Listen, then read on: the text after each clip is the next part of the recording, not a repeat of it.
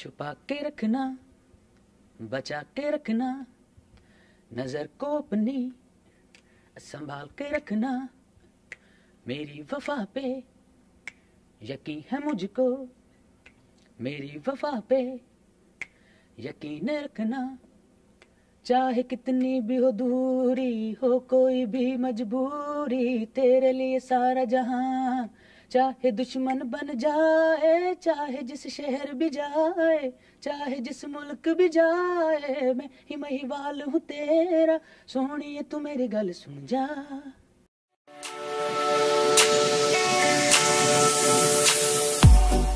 Another member of the dream team of 1997, and a very famous one that is. This is Sajad Ali.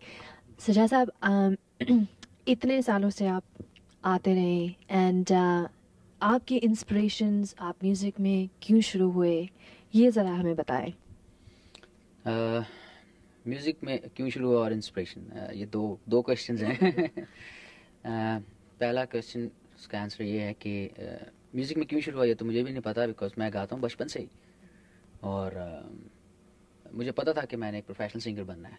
मुझे कभी ये नहीं पता था कि मैं engineer बनूँगा pilot doctor nothings like that मुझे पता था कि मैंने सिंगर बनना है तो मैं सिंगर बन गया।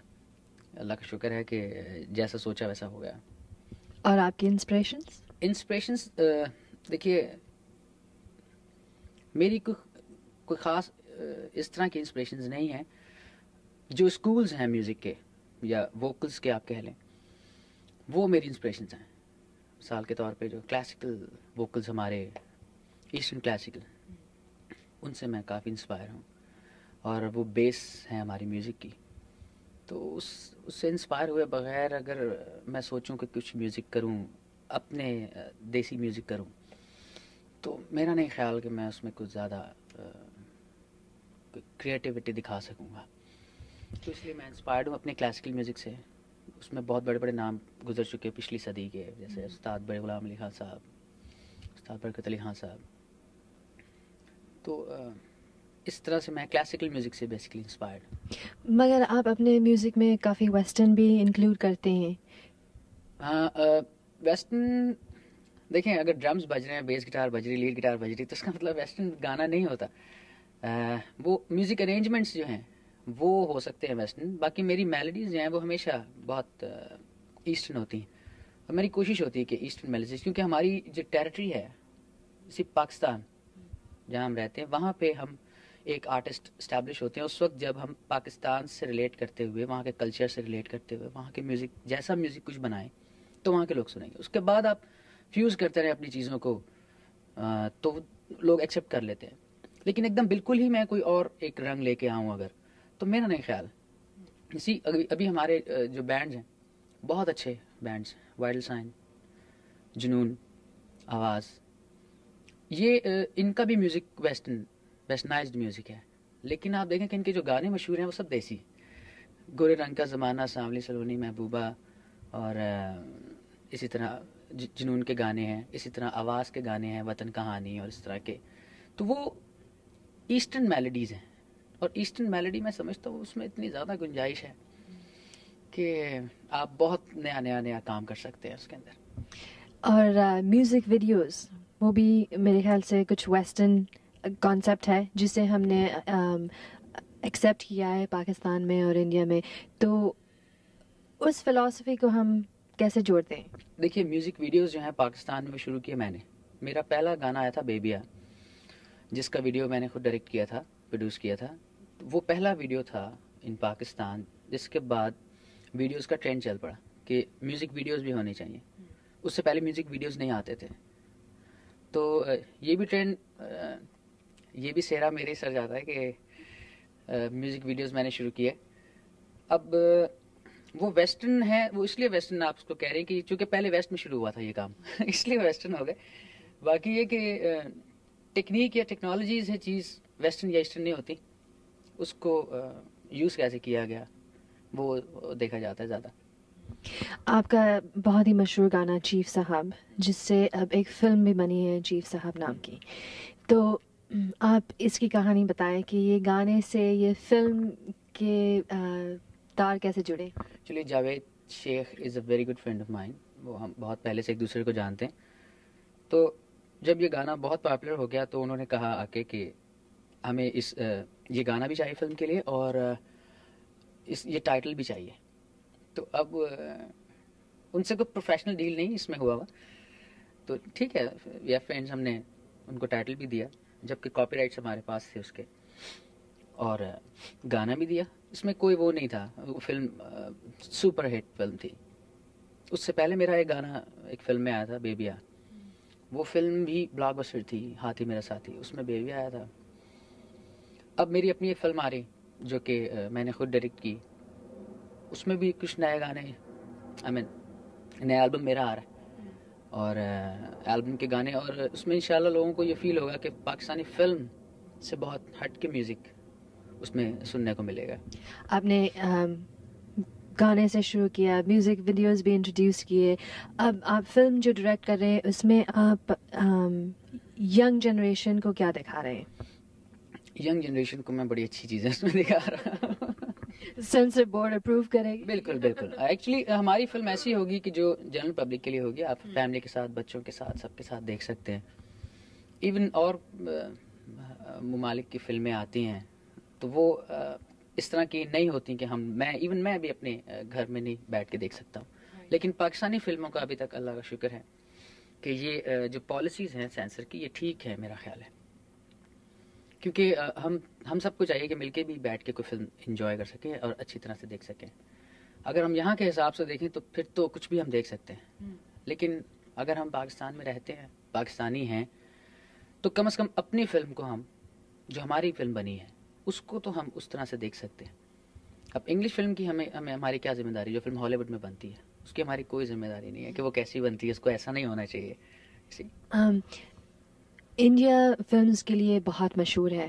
Um, और पाकिस्तान अपने ड्रामाज और सीरियल्स की वजह से बहुत ही पॉपुलर है। आप as a young director Pakistan की फिल्म्स को um, क्या व्हाट क्या रेट करेंगे? अच्छा। देखिए पाकिस्तानी फ़िल्म को रेट करना जो है वो एक बहुत ही मुश्किल काम है इंडियन फ़िल्म के साथ। क्योंकि उसमें बहुत सारे फैक्टर्स हैं। वो इस तरह नहीं हो जाता। बजट्स सबसे पहले। एक्सपोजर राइट उनकी जो डिस्ट्रीब्यूशन है उनका जो नेटवर्क है उनका जो सर्किट है वो इतना बड़ा है कि अगर एक फ़िल्म एक हफ़्ते लगे सिर्फ़ पूरे इंडिया में तो वो अपनी कॉस्ट दे जाती है क्योंकि इंडिया बहुत बड़ा है। पाकिस्तान उसके मुकाबले में एक छोटी जगह है। कम पॉपुलेशन है कम रकबा है। उस हिसाब से पाकिस्तान में फ़िल्में अगर चल जाती हैं और बन जाती हैं, और जो बजट पाकिस्तानी फ़िल्म का होता है, वो उसमें मेरा नहीं ख्याल कि दुनिया के कोई भी लोग जो है फ़िल्म बना सकते। इतने कम बजट में बन जाती है वहाँ फ़िल्म और अभी हमारे यहाँ टेक्नोलॉजी भी ज़्यादा नहीं आ सकी, सिर्फ़ इसी वजह से कि इस काम में रिटर्न इतने ज़्यादा अभी नहीं है कि लोग बड़ी इन्वेस्टमेंट्स करें। नए नए कैमराज ले आए। अब नया कैमरा जितने में आएगा, उतने में शायद तीन फ़िल्में बन जाए। तो कोई स्टेप नहीं उठाना चाह रहा होता कि उसको पता है कि इसकी रिकवरी कहीं से नहीं होगी। अब आहिस्ता आहिस्ता हमारे यहाँ ट्रेंड बदल रहा है। पहले फ़िल्में कम बजट की बनती थी। अब बढ़ती जा रही पहले तीस पैंतीस लाख में फ़िल्म बन जाती थी। फिर पचास लाख में बनने लगी। अब सत्तर लाख में बनती है। अब एक करोड़ में बनेगी। कि जैसे जैसे ये बढ़ता जा रहा है वैसे वैसे टेक्नोलॉजी भी आएगी। जब हमारे पास इक्वल टेक्नोलॉजी हो जाएगी, तब हम रेटिंग कर सकेंगे। अभी नहीं कर सकते। तो हाल ही की तो बात हो गई। अब फ्यूचर की बात बताएँ। आप डायरेक्शंस तो कर ही रहे आप अपने एल्बम्स के बारे में बताएँ और क्या आप फिल्म्स में काम भी करना पसंद करेंगे? ये जो मेरी फ़िल्म आ रही है एज ए डायरेक्टर इस फ़िल्म का नाम है एक और लव स्टोरी अच्छा। और इसमें मैं एक्ट भी कर रहा हूँ। मेरे साथ सलीम शेख हैं। बहुत इन है पाकिस्तान में आजकल। निर्मा हैं नई आर्टिस्ट है। सारा खान है नई आर्टिस्ट बहरोज़ हैं, रंगीला साहब हैं और दो आर्टिस्ट हैं जिनको मैंने इंट्रोड्यूस कराया है, तीन आर्टिस्टों को, आमिर रिजवी, खावर एंड परवेज़। तो एक बड़ी मुख्तसर सी फ़िल्म है, बड़ी लाइट सी जिसमें कोई विलन नहीं है। लव स्टोरी है कॉमेडी है। इसमें मैं भी एक्ट कर रहा हूँ और नेक्स्ट भी फ़िल्मों में एक्ट करने से ज़्यादा मेरा ध्यान जो है वो डायरेक्शन में है। बिकॉज़ मैं हमेशा से ही डायरेक्टर था। पहले से ही, क्योंकि वीडियोस मैं कर रहा हूँ पाँच आठ, बल्कि आठ साल से डायरेक्ट कर रहा हूँ। तो अब फ़िल्म की तरफ़ मैं आया हूँ, जब मैंने समझा कि आना, आ जाना चाहिए, वरना मैं बूढ़ा हो जाऊँगा। तो सिर्फ़ इतनी सी बात है कि डायरेक्शन में मैं इसलिए आया हूँ कि मेरे जैसे और भी लोग आएँगे अभी, जो थोड़े बहुत पढ़े लिखे हों, जिन, पढ़े लिखे से मुराद ये नहीं होता कि जिनके पास डिग्रियाँ हों, पढ़े लिखे से मुराद ये होता है कि जिनके पास एक्सपोजर हो, जिन्हें पता हो कि कौन सी चीज़ बेवकूफ़ी की है और कौन सी नहीं है कि अगर घास पे गाड़ी रुकेगी तो आवाज़ नहीं आनी चाहिए ब्रेक्स की। सी अगर आउटडोर सड़क पे खड़े के बात करें तो आवाज़ एको में नहीं रिवर्ब में नहीं आनी चाहिए नहीं आ सकती। इतना तो कम से कम पता होना चाहिए। तो जैसे शान अभी फ़िल्म डायरेक्ट कर रहे हैं गन्स एंड रोजेस मुझे उस फ़िल्म से बहुत उम्मीद है। शान जो डायरेक्ट कर रहे हैं खुद। उसमें एक्ट भी कर रहे हैं। लेकिन एक्ट तो वो बहुत फ़िल्मों में करते हैं। Hmm. असल चीज़ देखने की है कि जो फ़िल्म डायरेक्ट कर रहे हैं वो उसमें क्या चेंज तो वो बहुत चेंज फ़िल्म है। दूसरी फ़िल्मों से आपको बहुत ऐसा फील होगा कि आप उसे कहीं रख सकें कहीं पे कंपेरिजन कर सकें उसका। इसी तरह मैं भी कर रहा हूँ। और भी कुछ लोग हैं जो भी आएँगे हमें देख के तो अच्छा हो जाएगा इंशाल्लाह आगे जाके। अच्छा और आपके एल्बम्स के बारे में? मेरी एल्बम भी नई आ रही है अभी और इस फ़िल्म में उस एल्बम के गाने हैं। तो ये भी एक चेंज है कि मैं हमारे जो एल्बम्स के गाने होते हैं वो अब फ़िल्मों में आएँगे। जैसे कि जो फ़िल्म का एक टिपिकल साउंड है हम जो सुनते हैं उससे ज़रा हट के है। म्यूज़िक बिल्कुल एक फील है उसका अलग से अच्छा बहुत सारे फैंस हैं आपके जो आपका इंतज़ार कर रहे हैं मायमी और ऑरलैंडो में। उनको आप क्या कहना चाहेंगे? उनको मैं यही कहना चाहूँगा कि वो हमारा इंतज़ार करें उस वक्त तक जब तक कि हम वहाँ आ जाएँ। और